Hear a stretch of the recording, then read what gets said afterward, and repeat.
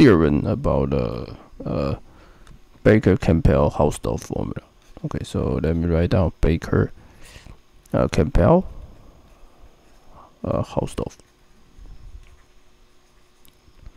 Okay, so there are two of them, uh, but basically in this video we prove the first one. Okay, so the first one is that I give you A, B are just uh, operators, or or you like write as a n by n matrix. Uh, maybe the coefficient can be R or other field. Then the, basically you can write down probably the ring is still okay. I mean if you use the commutative ring, basically you have exponential A B exponential minus A to be B A B plus uh, half A A B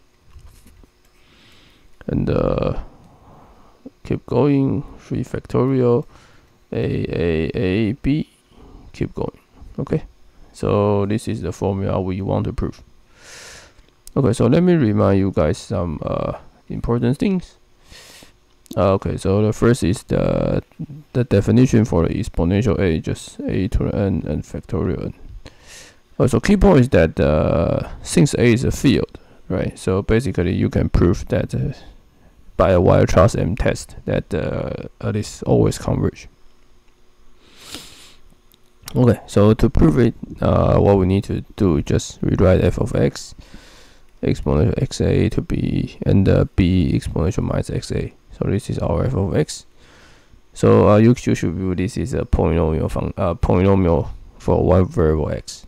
Okay, and then you do the derivative. Oh, by the way, I, I, I define it to be f of n Therefore, n is a constant, uh, basically a function of ab. X of n divided by n factorial, this. And then you can do a differentiation respect to x, respect to x. Okay, so the nice thing is that you will get uh, n, let me see. You will get a minus 1 factorial f of n x n minus 1. Okay, so uh, nothing special and uh, but but you should remember this should, should change it to be one should be one and uh, okay and uh, okay so this is just definition. But how about we start from this? So with respect to d over dx then we get the x a a b exponential minus a uh, minus exponential xa and uh, b a exponential minus xa okay so you write down it's we can get uh, uh by the way a is commutative commutative with expon exponential xa okay so from this one and uh, okay so we can shuffle these two two terms. Uh, what we get is a f of x. Okay so yeah you can check a a a a is here so a is here so a is here and uh, f of x times a is, is ba okay so from this okay so uh, what we already uh, so we are done. This is a just sigma f of n x n n factorial from n to infinity. So this is just n from 0 to infinity n factorial uh, 1 a f of n x of n. Okay so from these two then we can change the variable to n to n plus 1 then what we got is the results. So what we got is this f of n plus 1 is just a f of n okay so this is our our final results. Okay.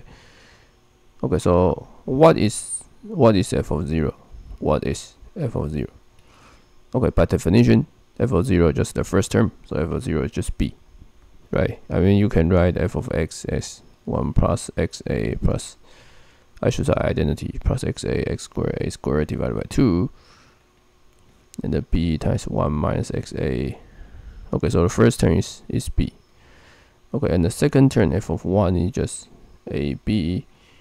F of 2 just a b a.